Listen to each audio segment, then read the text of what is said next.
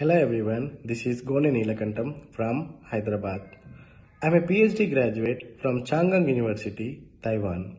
I have recently completed my TEFL course from Henry Harvin Education Company.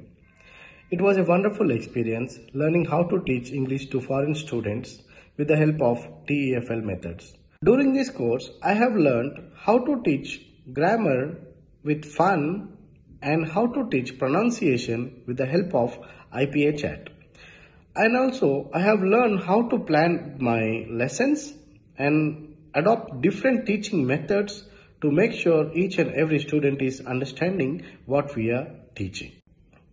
My trainer was Swapnil Chaudhary. He was very punctual and he would go to any extent to make sure that we understood each and every concept taught by him.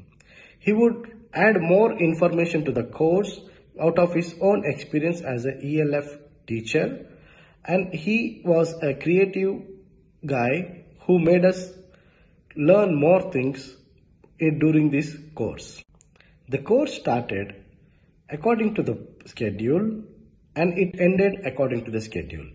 The assignments are very engaging and soon after completing our exam, we received our certificate.